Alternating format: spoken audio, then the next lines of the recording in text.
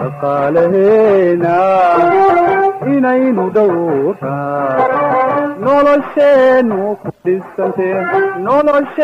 ku ku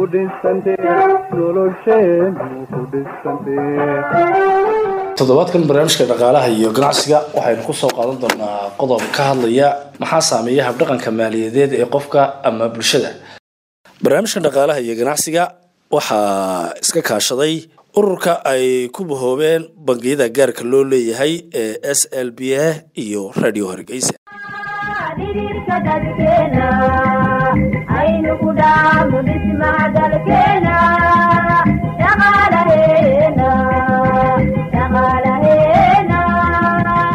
markaynu ka hadlayno ee waxyaabaha saameeya habdhaqanka maaliyadeed ee qofka ama bulshadu aad bay u badan tahay. Waxaynu barnaamijkan intaynu ku guda jirno aynu ku lafaguri doonaa ee qofku siduu ugu yeelan karo habdhaqan maaliyadeed iyo sida uu qofku lacagtiisa islamarkaasi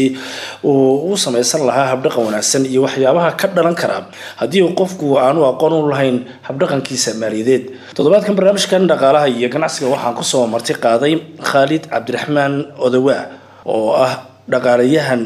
jaamacadaha dalkana wax ka dhiga. Kusoo dhawow qaadhig barnaamijkan dhaqaalaha iyo ganacsiga. Acuudu billahi samiic alcaliim min ashaytaan rajiim. Bismi illaahi raxiim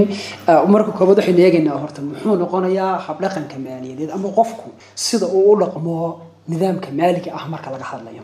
Nidaamka maaliga ah marka laga hadlayo qaabka uu u dhaqmo nimba nidaamka maaliyadeed wuxuu noqonayaa qofku sideebuu u xaliyaa ama sideebuu u maareeyaayo uu u isticmaalaa wixii hanti maaliyadeed soo gasha taasoo noqonaysa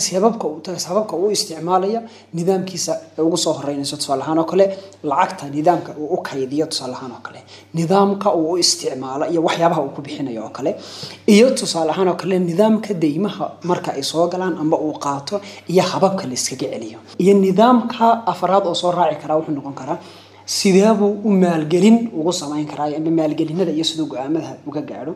Marka si kooban waxaynu u odhan karaynaa waa qofku lacagaha uu isticmaalo siyaabaha uu go'aan uga qaato inuu isticmaalayo. Markaa markaynu ku hadlayno qofka kale ama bulshadu sidee u yeelan kartaa habdhaqan maaliyadeed oo wanaagsan? Bulsho waxay u yeelan kartaa nidaam amba qof amba bulsho haddaynu kaynu doono soo qaadano waxay u yeelan kartaa nidaam habdhaqan maaliyadeed oo wanaagsan. Waa inaynu ku soo koobno hel erey laakiin halkaa erey waxaa hoos iman doona waxa weeyaan macluumaad aada u badan. Waxa weeyaan inuu halkaa erey uu noqonaya aynu ku soo koobaynaa waa in qofku uu nidaamka uu wax u isticmaalaya uu noqdo nidaam ka fiirsasho leh taa oo aynu uga jeedno macnaheedu waxa weeyaan in shay kasta oo maaliyaddaa ka mid ihi uu u qorsheeyo meesha ku habboon inuu isticmaalo. Marka nidaamkaas waxaa go'aamin kara oo uu u yeelan kara qofku inuu nidaam noocaas oo kale yeesho waa inuu qofku yeesho kow nidaamkan maaliga ah sida uu isticmaalayo waa inuu yeesho aqoon maaliyadeed waa muhiim wacyi waa muhiim. Waxaa muhiim oo kale nidaamyada lacagaha loo isticmaalo hadday kaydsiga noqoto nidaamyada kaydsiga inuu yaqaano. Haddii uu isticmaalayo nidaamyada wuxuu isticmaalaya waxyaabaha siday u kala horeeyaan inuu u soo kala horreysiiye ay muhiimka u kala leeyihiin. Marka waxaynu odhan karnaa hab dhaqan maali ahoo wanaagsan wuxuu yeelan karaa qofku. Waxaa saameeya nidaamka habdhaqankiisa oo cultureka aynu uga jeedno iyo nidaamka waxaynu saameynay waxaynu aqoonida maaliyadda uu u leeyahay sida uu u maamulayo hadday tahay waxyaabaha uu isticmaalayo inbay ha noqoto iibsi amba ha noqoto kaydsi amba ha noqoto dayn soo gashay uu qaadanayo iyo mid uu bixinayo marka wuxuu u dhexeeyaa qofku waxa weeyaan u yeelan karaa inuu ka wada fikira dhammaan ay shaynadaasi hantidiisu intay leeg tahayna uu noqdo mid sida ay macquulka ay u noqon karayso uu ugu isticmaali karayo inuu u allocate gareeyo amaba uu ku kala hagaajiyo si macquulka u noqonayso kolley waxaynu ka hadlaynaa waa maaliyad markaa markaynu ka hadlayno kole lacagtii saxa lacagtii aynu isla naqaanay runtii qofku lacagtu haysto kale sidee buu la dhaqmaya nacamta qof wuxuu ula dhaqmayaa lacagta waxayn horta waxaa jira qofku laba midkoodun buu dhahay dee waxna minadiina taas way ku sugan tahay waa inuu qofku noqonayo qof israaf samaynaya iyo inaanu noqonin qof is- israaf samaynaya halkan aynu leenahay qofka habdhaqankiisa maaliga markaynu ka sheekaynaynana waxaynu ka sheekaynayna waxa weeyaan qofku miyuu israafaya? Mise ma israafaya ee wuxuu u isticmaalayaa lacagtii uu haystay? Waxyaabo ku habboon oo aan israaf ka baxsanayn. Iyo habmaamulkeedii iyo sida lacagta u maamulay. Sida laajirkeed wuxuu u yeelan karaa qofku inuu yeesho uu la macaamilo lacagtiisa inuu ku bixiyo shay kasta meesha ku habboon taasaynu odhan karnaa. Marka waxa weeyaan sida uu lacagta ula macaamilayo idinka uu u isticmaalayo aynu ku soo koobi karaynaa kolley dee lacagta sida loo isticmaalo kolley qofku waxbuu ku iibsan karaa kayd buu samaysan karaa ee waxyaabo badan baa lacagta loo isticmaali karaa laakiin markaynu ka hadlayno kolley kaydkii oo kale iyo deyntii oo kale muxuu qofku isweydiinayaa maxaa looga baahan yahay habkee markaa lacagtuu baranaya horta mid baa jirta qofku markay lacaga soo gasho ama uu adduun hayo adduunkaas uu hayo wuxuunbuu u isticmaalayaa waxa weeyaan inay wax laba midunba dhacaysa lacagta inay ku filaato qofka oo aan u deyn u baahan iyo inuu lacagtii intuu qofku ku filaato waxyaabihii isagu uu noloshiisa ku isticmaalayay inuu deymo u baahdo haddaynu ka soo qaadno qofku waxyaabaha uu isagu isticmaalaya inay lacagtiisa ku filantuhuna waxba deyn uga baahanin laba midun bay noqonaysaa ku filaanshihiisa waxa weeye waxyaabihii isaga kharashaad u qorshaysnaayo noloshiisa uu gelaya inuu iska bixiyo wixii soo baxana inuu kaydin u isticmaalo sida uu u kaydinayaana ay noqonayso nidaamyo kala duwan oo amba ay noqonayso iyaduna galayso inuu kaydiyo nidaam ku salaysan nidaam iska dhaqan ahoo dee inagu saynu xogaysan oo kale inuu qofka lacagtiiska haysto oo kale inuu lacagta mobilku haysto oo kale waxyaaba noocaas oo kale. Kuwaasina waxaa la yidhahdaa waa nidaamka qadiimiga eh wax loo kaydsado. Iyo inuu qofki noqdo nidaamka qadiimiga midaan wax u kaydsanin inuu bangi ku kaydsado oo kale. Labadaa qaybood unbay qofka maaliyadiisa ay noqonaysaa. Haddaba isticmaalkii ayaa isaguna wuxuu noqonayaa markaa inuu dhowr qaybood noqonayo isticmaalku wuxuu noqonayaa qofku inuu wax daruuriyaad u isticmaalayo lacagtii iyo inaan waxaan daruuriyaad ahaan u isticmaalaynin marka qofkii waxay ku xidhan tahay habdhaqankiisa inuu u isticmaalayo shayada daruuriyaadka noloshiisa muhiimka u ah iyo inuu isticmaalayo shayo aan daruuriyaad ahayn oo noloshiisa aan muhiim u ahayn waxay ku xidhan tahay waa habdhaqankiisa oo aynu uga jeedna habdhaqankiisana sida uu go-aamada uga gaaraya maaliyadda uu isagu haysto sax markaynu ka hadlayno ama bulsho ha noqoto ama caruurtaba ha noqotee ee sidee loo bari karaa marka in ay habdhaqan wanaagsan ay kula macaamilaan hantidooda? Habdhaqanka aynu bulsho amba aynu carruur amba aynu nidhaahno dad dhalinyaro ah. Haddii aynu isku wada qaadno nidaamka loo bari karo inay nidaam maaliyadeed oo habdhaqan maali ahoo wanaagsan ay yeeshaan wuxuu noqonayaa horta waxaa saameeyo qodobo waa- ba- aad u badan laakiin waxaynu ku soo koobaynaa dhowr qodob oo muhiim ah bal inaynu soo ururino. Kow waxuu noqonayaa waa deegaanka qofka deegaanta uu ku nool yahay saameyn badan bay ay ku leedahay nidaamkiisa maaliga habdhaqaneed waxay ugu yeelanaysaa tusaale ahaan oo kale ilmaha ku nool ama qofka ku nool ee dhalinyarada ama qof weynaada ama qof yaraada bulshada nidaamkeeda maaligii uu dhisan yahay iyo bulshada aynu isbarbar dhigaynaa nidaamkeeda maaligii aanu dhisnayn. Tusaale ahaan oo kale nidaamka bangiyada inaynu ku tababarano oo ay nidaam bangiyo system caadi aynu isticmaalno qaab bangiyaysan oo caadi aynu isticmaalno inagu waxay weli curdan buu noqon ayuu yahay. Laakiin marka ay bulsha nidaamkeedu uu dhisan yahay yani weeye qofku wuxuu soo fahmayaa muddo hore xitaa isagoo aan aqoon badan ba aan u baranin baa laga yaabaa. Haddii qofku uu leeyahay yani environmentkiisu ama deegaantiisu haddii halka uu ku nool yahay u jeedaa bay'ada uu ku nool yahay ay leedahay nidaam maaliyadeed oo dhisan inuu si fiican ugu barbaaro ayuu u saamaxaya waa qodobka kood markaa saas uu neenay. Kii aan lahayna dee laakiin waxay intaa ma- yeelanayo macnaheedu weeyaan waxaa kale oo saameeyo qofka. Waxa weeyaan habdhaqanka maaliga waxaa saameeyo qofka biniaadamka maskaxdiisa. Siduu u fikirayo qofka. Dadka qaarkood waa niguu sheegay kule markii dhowtana kule haa nidaamka mise attitude-ka waxay yidhahdaan marka waxay u fikirayaan waxa weeyaan nidaamka uu u fikiraya nidaam inuu iska israafo ah. Lacag kasta uu bixinaya isma weydiinaya meesha uu ku bixinayo. Laakiin tiisa wuxuu odhanaya lacagta uu bixinayo wuxuu u fikiraya keliya marka isagu waxa uu yani xiise gelinay oo keliyaat in rational aan uga fikiraynin markaan leeyahay wixii ugu haboonaa inu ku bixinay inu ku bixinayn. Inuu qofku rational noqday aynu ujeednaa markaa taas iyaduna waa taan. Nidaamka maaliga waxaa saameeyo qaabka dadka bulshada meel habkay u dhaqan tahay. Tusaale ahaan oo kale habkay u dhaqan tahay waxa weeyaan ilmaha haddaan markuu yar yahay lagu soo barbaarin lacagta iyo sidoo loo isticmaalo iyo inaan meel wax wanaagsan lagu isticmaalo iyo si wanaagsan loo isticmaalo waxaa saameeyo qodobka afraad noqonayo qofka waalidkii oo kale tusaale ahaan oo kale nidaamka ay hadday leeyihiin aqoon maaliyadeed oo kale isna saameyn buu ku yeelanaya. Markaas sababaha waxaasi waxay saameynayaan oo loogu yeeli karaa intaa haddii la hagaajiyo. Tiirarka ugu waaweyn baynu markaa taabanay laakiin way jiraan intaa wax ka badan oo iyaguna saameeya. Haddii inaha la hagaajiyo qofku wuxuu yeelanayaa aqoon maaliyadeed ama habdhaqan maaliyadeed oo wanaagsan buu yeelanaya. Inta badan waxaynu maqlaa qofkaas waa bakay iyo waa waa la jeclo badan yahay. Ee, markaa farqiga udhexeeya maxay noqonaysaa iyo faa'iidada iyo saameynta labadoodaba ay keeni karaan. Saamaynta ay labadooduba keeni karaan. Horta labada qodob farqiga u dhexeeya aan sheegno. Qofka markaynu leenahay waa bakhayl. Iyo marka aynu leenahay waxa weeyaan qofkaasi wuxuu u isticmaalayaa hantidiisii nidaam gacan furan oo kale. Ama haddaynu nidhaahno horta bakhaylku waxa weeyaan qofka ibni aadamkii isagoo hanti haya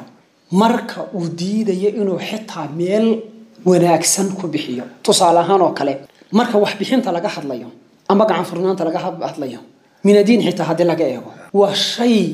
ilaahay ku ammaanay dadkan wanaagsan in waxa ilaahay ku arsaaqay ay wax ka bixiyaan halka xaasidnimaduna ay tahayba mid ka mida waxyaabihii nebiga calayhi salatu wasalaam uu ka magangeli jirayba oo xaasidnimaduna oo ilaa qur'aanka ku jirtaba walaa tajcal yadayka maqluula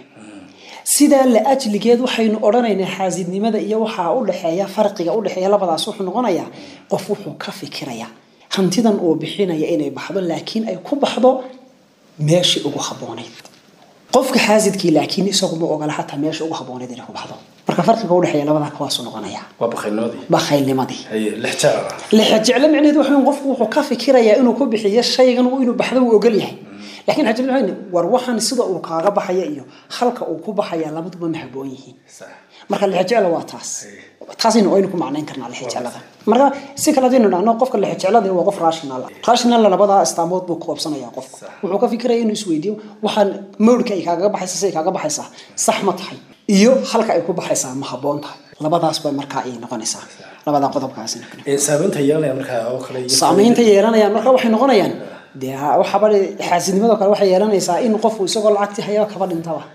taasoo kale ayaa ka dhalan kara. Laakiin adduunkan maaliyadda waxaynu u shaqaysanayna u tabcaynaa waxa weeyaan inaynu isticmaalno weliba aynu u isticmaalno si habboon. Taas markaa farqiga waxay waxay leeyihin in intay saamaynta keenaysa waxaan lacagtii intay baxdo inay ku baxdo weliba meel habboon oo in natiijo wanaagsan dhasho marka aynu nidaamka xaasidka ama nidaamka kale u isticmaalno maxaa qofka markaasi ka saacidaya inuu isla markaasi dakhligiisoo kale siduu maareyn lahaay oo kale maxaa ka saacidaya qofka waxaa ka saacidaya dakhligiisa inuu si fiican u maareeyo waa in uu yeesho qof dadka biniadamka inay wada inay maaliyad wada bartaan maaha laakiin waa in ay yeeshaan imkaaniyaadka ama shayada fudaydiya in qofku uu xallin karo amba go-aamo ka gaari karo waxyaabaha aas-aasiga ahoo kale waxyaabaha aas-aasiga ahoo kale maxaynu uga jeedaa waxa weyn waa inaad taqaano lacagta ku soo gashay iyo sida loo sameeyo lacagna si inuu qofku sameeyo waa muhiim marka lacagta qofku siduu u sameynaya amba ha shaqeeyo amba ha isagu qofka u shaqeeyo amba ha ganacsada banisa waxay weyn tacab u baahan tahay waxaa ka saacidaya qofku inuu siduu u maareyn lahaana garanayo hadduu isticmaalayo baahiyaad nolosha isaga oo taagan uu ku bixinayo oo weliba uu u isticmaalayo in nidaamka u bixinayaan inay tahay nidaam meesha ku habbooneed uu bixinayo iyo nidaamka haddii aad adigu dayn bixinaysa iyo haddii aad dayn qaadanaysaba dadka sida loogula mucaamaloodo arrimaha maaliyadeed. Arrimaha maaliyadeed markaad la mucaamilayso waxaa shay muhiim ah inaad niyadda ku hayso. Khataruhu waxa waxa riskiga loo yaqaano. Waxa khataraha soo wajaha shay kasta khatar buu leeyahay. Laakiin lacagtu waa ta ugu daran. Ee riski waxaa loo yaqaano ma khatari ay soo wajahdo marka qofku waa inuu garanayo lacagahaasi marka uu maaraynayo meesha uu ku bixinayo iyo halkay ka soo gelayaan iyo sida uu isticmaalayo sida uu kaydinayaba maxaa khatar maaliyadda ku gadaamin? Waa la dhici karaa way guban kartaa intaad guriga dhigto way waxaa dhici karaa nidaamkii beri dhawatalo wadanka ka dhaco kale oo chief of shaqda ahaa intaad cid ku aamintaba in ciddii deetana ay lacagtii aad kama weydo oo kale marka taasoo kale waxaa jira oo kale nidaamyo system ah oo caadi ah oo ama qaab dhismeedyo caadi ah oo maaliyadeed haddaynu yeelano dadkana inay inta waaqicee ka anfacaysa nolosha de qofka waxyaaba hadduu doono waxyaaba maaliyad bala xidhiidhin buu bartay sidaa la ajligeed in dadka imkaaniyaadka basic ahna lagu wacyigeliyo lagu tababaro waxyaabaha noocaas oo kale aad aad bay u muhiim meelaha oo kale hantidaada kale aad ku kaydsan karayso maxaa ka mid ah meelaha hantida lagu kaydsada imanka inagu sida waaqiciyan aynu u kaydsanaa waxay u badan tahay laba hab haddaan idhaahda saddex habaan idhaahda waxa weeyaan inaad ku kaydsato adigu gurigaaga ama jeebkaaga iyo inaad ku kaydsato oo ku haysato laga yaabaaba nidaam ah weliba ka inaga inoogu badan ah iyo nidaamka saddexaad oo ah sida inaga caadiga aynu u kaydsano oo noqonaya inaad cid u dhiibtaba aad ku aamintaba aad haya ku tidhaahdaba nidaamkaas waa nidaamka waaqiciyan ay wax u kaydsano laakiin nidaamyada marka la isku soo wado dara dhammaantood waxaa ka muhiimsan qofku inuu nidaam bangiya isticmaalo waa maxay sababta uga faa'iido badan yahay waxaynu kusoo koobaynaa laba qodob labada qodob aynu kusoo koobayno uga faa'iido badan yahay waxa weeyaan lacagta bangiga dhigatay inta ay gurigaaga isaga kaydsanaan lahayd horta mar walba waxay geli doontaa dhaqaalaha waddanka way shaqayn doontaa waxaan loo yaqaanaa circulationkay galaysaa yacni wareegii dhaqaalaya socday bay galaysaa waxaa la bangigu inuu cid kusii maalgelinaya laga yaabaa waa qodobka labaade waxay uga faa'iido badan tahay riskigii markaynu ka sheegna amba khatartii ku dhici lahayd maaliyadaasi ayaa waxaa dhici karta iyadana inay kaaga badbaado tusaale ahaan lacagtii gurigaaga taalay amba jeebadaada ku haysatay waxaa macquul ahba in lagu dhacaba ay dhacantay si fudud u dhacantaba adoo meel iska maraya waxa doonaa dhici kara guri baa guban kara waxaasaa dhici kara laakiin bangigu damaanad buu kuu leeyahay taana way ka xaggii markaa riskigiina bangiyadu way kaa iyadana way kaa yaraynayaan marka waxaa jirtaa oo iyadana meesha in la xuso ay mudan tahay waxa weyn dadka horta laftirkooga nidaamka wax loo kaydsada inay iyagana ay yihiin halka wax lagu kaydsanayo labada halka wax lagu kaydsanayo inay si fiican u yaqaaniyeen nidaamka wax loo kaydsanay. Dhidhiirka dadkeena aynu ku dhaafno dhismaha dalkeena. Dhaqaalaheena dhaqaalaheena aad iyo aad ayuu mahadsan yahay khaalid cabdiraxmaan odowaah oo ah markaasi macalin jaamacadeed oo dhaqaaliyahan ah oo barnaamijkan dhaqaalaha iyo ganacsiga aan ku soo marti qaaday. Barnaamijkan dhaqaalaha iyo ganacsiga waxaa iska kaashaday ururka ay ku bahoobeen bangiyada gaarka loo leeyahay ee s l b a iyo radio hargeysa. Barnaamijkii dhaqaalaha iyo ganacsiga intaasi ayaan ku soo gabagabaynayaa barnaamijkan dhigiisa intaynu ku kulmino waa farsamadii amiin cabdiqani iyo anigoo xasan xarbiyood iga tegaya. Dhaqaalaheena inaynu dhowraa nolosheennu ku dhisante nolosheennu ku dhisante nolosheennu ku dhisante